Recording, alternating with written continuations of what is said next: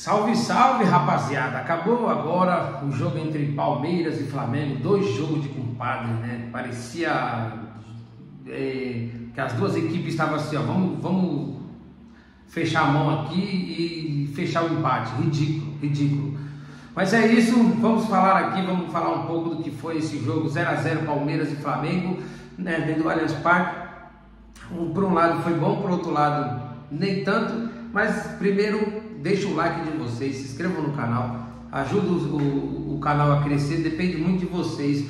E vamos falar um pouco do que foi esse jogo fraquíssimo entre Flamengo e Palmeiras, né?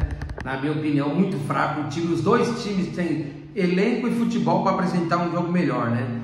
O Flamengo, principalmente. O Flamengo no segundo tempo mexeu três peças, colocou um, uma dinâmica totalmente diferente no jogo, né? E não dá para falar um pouco mais, né? A gente sabe eu não curto falar muito, mas não dá. Bandeirinha careca lá só dava falta pro lado do Flamengo, impedimento, falta, lateral, não sei o que acontecia com ele. Agora no final do jogo, uma bola que o Rony tira, bate na perna do jogador, na frente dele, ele deu um escanteio. É complicado. Você sabe que o futebol brasileiro está sujo em relação à arbitragem, né? Para variar, então é difícil. É, tivemos alguns lances também onde o o Murilo, ele, ele, deixa de ir na bola e vai no corpo do jogador do, do, Flamengo, toma amarelo, perfeito, parabéns, é o que tem que ser feito, foi falta do Murilo. Mas quando o jogador do Flamengo fez isso no Hendrick, agora no final do jogo também, não aconteceu nem falta, quase arrebenta a cara do Hendrick. O cara olha pro Hendrick, vê que a bola que sai no Hendrick, dá o carrinho e se joga em cima do cara. Mas falar o que de Flamengo? Não pode, né? Mas vamos falar mais do que foi o jogo é, entre Palmeiras e Flamengo. Vou falar um pouco do Palmeiras e depois falar um pouco do Flamengo. O Palmeiras hoje entrou meio retrancado, entrou meio não, entrou totalmente retrancado. Ele jogou hoje com o Richard Rios e com o, o, o Aníbal ali no meio campo, né? É, fazendo aquele, aquele pivô, o, o, o Rio saindo um pouco mais e entrou com três zagueiros. Três zagueiros esses que no primeiro tempo não estava funcionando de nada, estava perdido, bagunçado, não, não marcava, não se perdia, perdia tempo de bola, né? E uma, uma outra jogada do Palmeiras hoje, se eu, ó, eu vou depois buscar para vocês a quantidade de passes voltando a bola para o Everton. O primeiro tempo, acho que o cara que mais participou dentro do campo hoje foi o Everton. Porque o Palmeiras com a bola no ataque e voltava toda essa bola, tocava para o Everton, o Everton fazer transição. Meu, o Palmeiras voltou a jogar dessa forma: transição, transição, transição toca pro goleiro, goleiro para frente, toca pro goleiro, goleiro para frente, no meio campo, cruza a bola dentro da área. Cara, para que isso? Põe essa bola no chão. Rafael Veiga, acorda, cara. Você é jogador de futebol, volta a jogar bola. Ânimo, vontade, espírito de jogador. Cadê seu espírito de jogador, Rafael? Rafael Veiga hoje não estava em campo. Primeiro tempo ainda ele participou de algumas jogadas, mas nada. No segundo tempo, eu ouvi o nome do, do, do Zé Rafael o Zé falando do, do Rafael Veiga com 16 minutos no segundo tempo. Eu olhei na hora que o cara falou Rafael Veiga, era 16 minutos, ainda falou ainda, não foi nem porque tocaram a bola para ele, porque ele estava ali no meio esperando a bola vir nele. Então é difícil para um jogador como Rafael Veiga, que o Palmeiras precisa dele, depende dele, é ele que leva essa bola, faz acontecer. E o cara não fez nada, né, meu, no, no segundo tempo. Não teve uma bola no escanteio e uma bola para cruzar, por, por, isso que não falou o nome dele. É complicado isso, não, não dá para entender, cara, o que acontece com o jogador. O jogador some, o jogador desaparece. E aí você olha para o banco, você tem o Rômulo, que jogou um puta no campeonato pelo, da Série B pelo Novo Horizontino e no Campeonato Paulista. Coloca, meu, puta, eu tenho o Libertadores no meio da semana, vou colocar o Rômulo para jogar.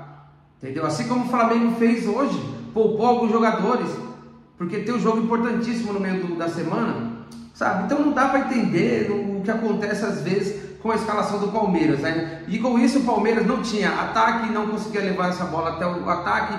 O único jogador ali que eu estava sentindo que estava querendo jogar bola era o Hendrick, né? O Flaco Lopes muito apagado, muito sumido no jogo, não fez nada, na minha opinião, e não conseguiu a transição. Já o Flamengo, o Flamengo veio à procura do empate mesmo, não estava afim de de, de ir para cima, veio com o time mesclado, reserva, né? E aos, aos, aos, poucos foram trocando e teve as suas melhores oportunidades. O Flamengo foi o time que teve as melhores oportunidades para fazer gol, né? Teve alguns lances, algum, algumas é, transições ali entre o Pedro e o Bruno Henrique no segundo tempo. No primeiro tempo, Rascaeta, o, Ara, o Luiz Araújo e o, e o, e o Bruno Henrique, né? Tanto é que o Bruno Henrique o, o, o melhor jogador em campo, porque tem que dar para alguém, porque não teve melhor em campo hoje. Um, um jogo fraco, muito ruim, na minha opinião, sem dinâmica, né? Outra vez o Palmeiras é, faz mais um jogo ridículo. Eu falei aqui para vocês do Campeonato Paulista, o Palmeiras ia dar trabalho. O Palmeiras não tem um time competitivo mais, ele tem um time centrado, organizado, que consegue seus resultados. Tem um bom zagueiro, um bom goleiro, né? Tem os laterais que jogam bola. O Abel tirou o Mike que estava correndo, ajudando ali o, o, o, Gustavo Gomes ali com o Bruno Henrique e colocou o Marcos Rocha, que é mais cansado. Aí o Marcos Rocha parou de atacar. Aí colocou o Estevam, o Estevam jogou melhor mas e, e, com isso o Flamengo só controlou o jogo para conseguir o que ele, que ele queria. Para o Flamengo é um bom resultado no empate fora de casa, porque é um ponto, ele não perdeu, ele não perdeu, ele não, não só agora ele tem o jogo de casa, que ele pode vencer e, ganhar. Ele vai roubar quatro pontos do Palmeiras. O Palmeiras, por sua vez, se vencer lá, aí rouba quatro do Flamengo. Mas poderia vencer em casa, que se perdesse fora, ficava, ficaria empatado. Lá na frente no campeonato, a gente vai ver a, a, situação, a dificuldade, como o Palmeiras vai ter que reagir para conquistar esse campeonato novamente, se quiser conquistar o campeonato, né? Então foi isso, é um jogo muito fraco, muito abaixo para as duas equipes, para o campeão, o campeão carioca e o campeão paulista, né?